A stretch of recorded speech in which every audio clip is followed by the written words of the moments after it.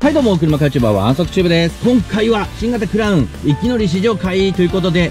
シリーズ第何弾かわかりませんが、私も購入している新型クラウンセダン、2.5リッターのハイブリッドのモデルですね。こちらに試乗させていただきます。いや、ドキドキですね。これ買って果たして合ってたのかっていう答え合わせみたいなところもありますが、えこちらの、え新型クラウンハイブリッドの Z ですね。マルチステージハイブリッドということで、2.5リッターの、えー、ダイナミックフォースエンジンに初めてマルチステージハイブリッドが組み合わされたパートレートになっているので本当に気になってます。車両本体価格は730万円とで、こちらオプションもろもろ込みで765万9700円となっています。私が購入したグレードのね、見積もり、そして、えー、水素のね、えー、FCEV の見積もりなんかも、えー、ブログでまとめていますので、下の概要欄、トップコメント固定で、えー、購入前の注意点も含めて、えー、貼っておきますので、ぜひそちらもチェックしてみてください。それではエンジンかけてみましょう。ポチ。お、暖気が済んでいるのか、今は無音ですね。そして、えー、電動テレスコチルト。そして、えー、シートのスライドアウェイ。それで、えー、シートが動いたという感じです。はい、行ってきます。はい、今、えー、エンジンがかかりましたね。で、乗り心地は、うん、やっぱりいいですね。直前までクラウンスポーツ乗ってたんですけど、クラウンスポーツよりもやっぱり挙動がゆったり、たっぷり、のんびりという感じで、やっぱクラウンスポーツの方がもっと引き締められている感じなんで、路面のこう、アンジュレーション、起伏をね、より拾うような感じですが、こちらの、えー、クラウンセダンの方はですね、よりホイールベースも長いんで、ゆったり、えー、どっしりしている感じはあります。で、ステアフィールはやっぱりちょっとこっちの方が、あの、低速域では軽いかもしれない。で、こちらは FR、そして、えー、クラウン、えー、スポーツの方ではですね、E4 の、e、AWD となっています。まあ、その辺の、あとね、FF ベースなのか FR なのかというところもあると思いますが、こちらは FR しかありません。そして、クラウンスポーツクロスオーバーにはですね、えー、DRS という後輪ソーダが備わっていますが、こちらのクラウンセダンには後輪ソーダは備わっていないという形になっています。その辺とかももしかしたら、あの、ステアフィールとかに関係してきてるのかもしんない。なので、最小回転半径とかはですね、えー、クラウンセダンが、えー、こちらの、えー、ハイブリッドモデルではですね、えー、5.7メーター、FCEV だと5.9メーター。なんでそこで違うのかなとも思いますが、で、えクラウン、えスポーツとかですね、クラウンクロスオーバーとかでは5.4メーターぐらいとなっていますので、まあ、最小回転半径とか取り回しに関してはですね、やっぱりクロスオーバーとかスポーツの方が良いという形にはなっています。まあ、でもこういう自然なソーダフィールとかね、FR ならではの良さみたいなものも、まあ、やっぱセダンにもあるなという感じですね。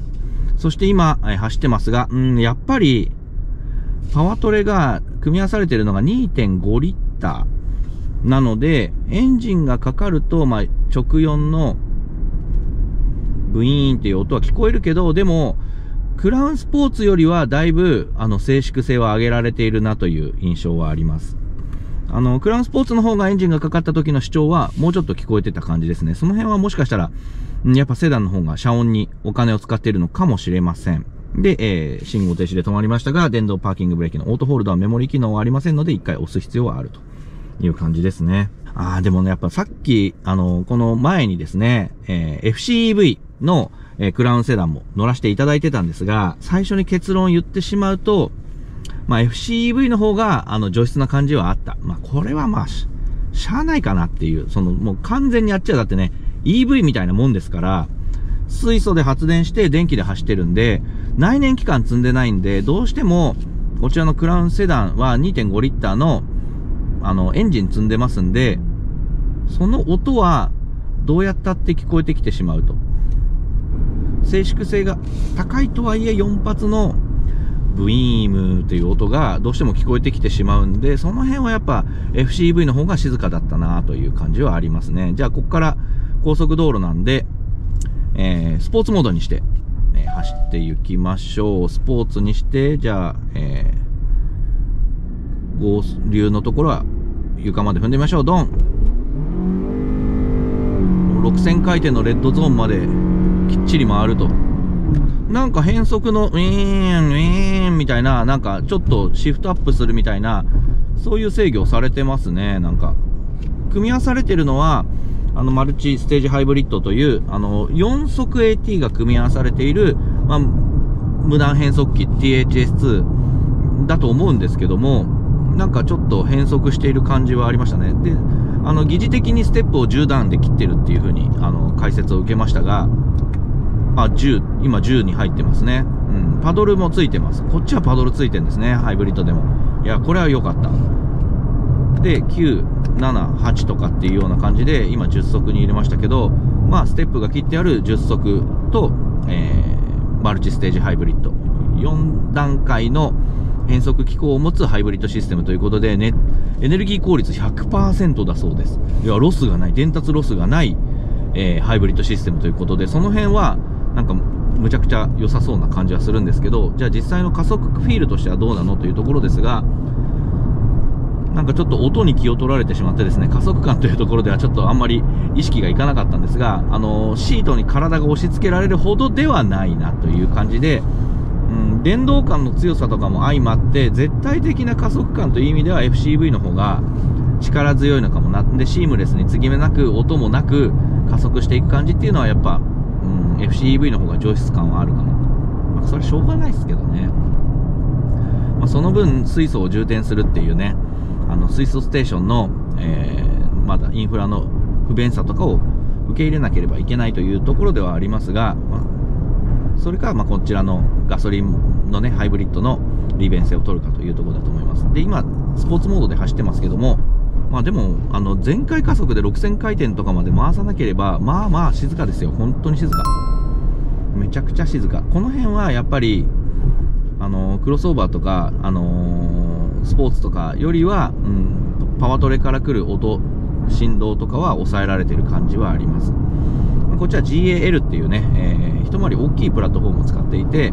オイルベースも3000とかっていうめちゃくちゃ長いし、まあ、ボディ自体も5メーターを超えるという、まあ、超巨大サイズなんですけども、それゆえのこうゆったりとした、えー、どっしりとした、えー、ソーダフィール、そして乗り心地になっていると。まあ、でもパドルついてるのは嬉しいですね。ドライバーズカーとしても乗って良いと思います。ちょっと中間加速してみましょうかね。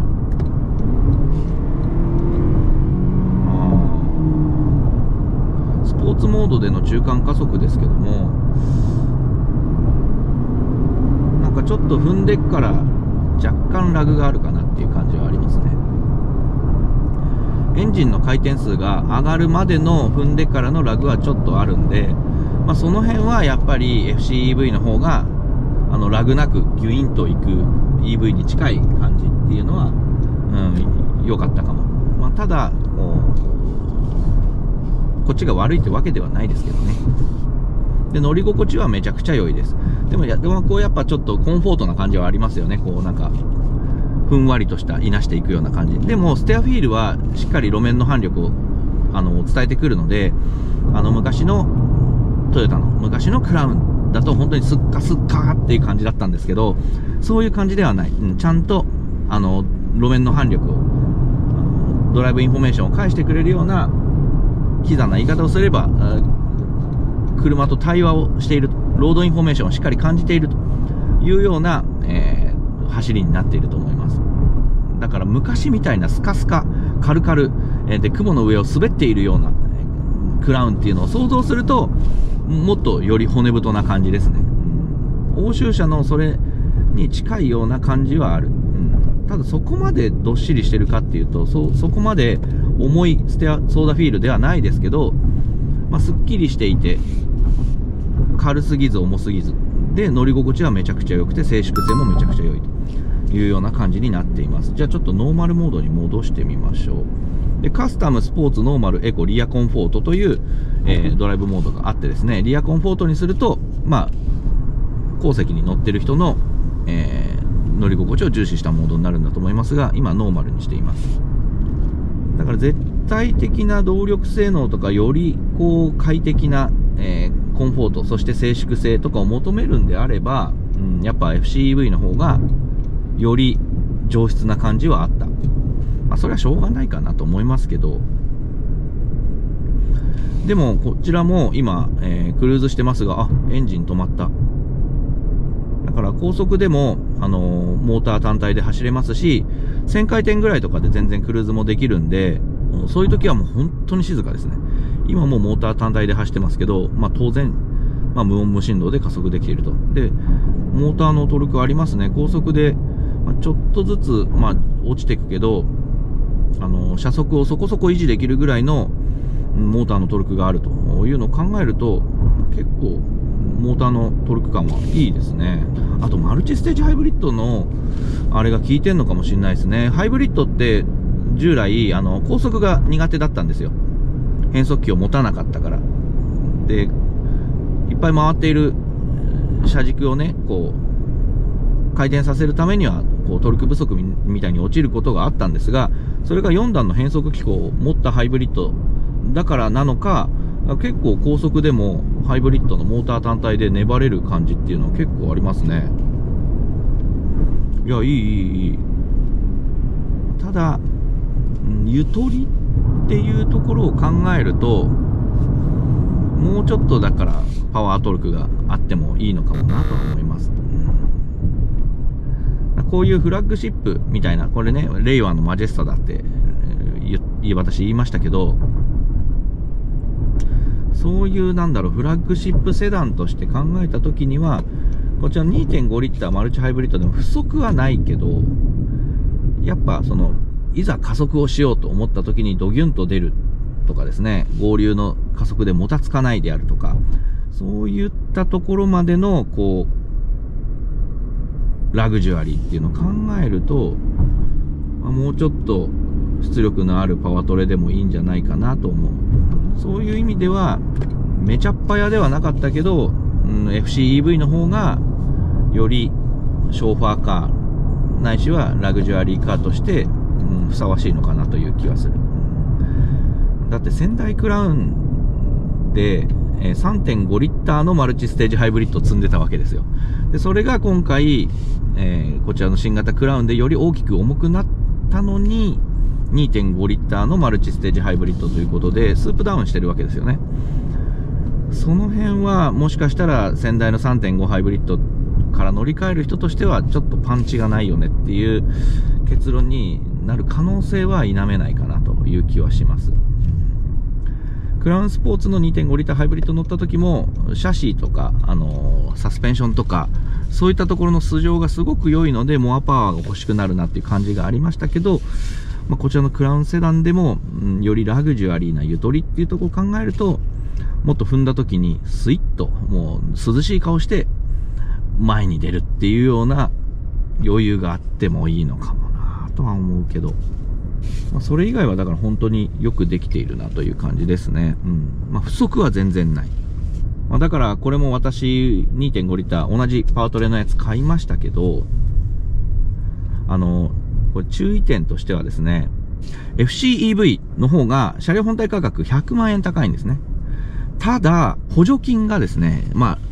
2023年度の予算では、えっ、ー、と、130万円強の補助金が燃料電池車、えー、水素には出るというふうに、お、あの、お国で確か決まってたと思うんで、それを入れると、なんと、えー、ハイブリッドと、あの、FCEV の価格差が逆転してしまうということで、まあ、だったら、水素でもいいかもなってちょっと思う人もいるかもしれないんですが、あとは水素ステーションが近くにあるかどうか。そしてあと、うちの近所にも実は水素ステーションあるんですけど、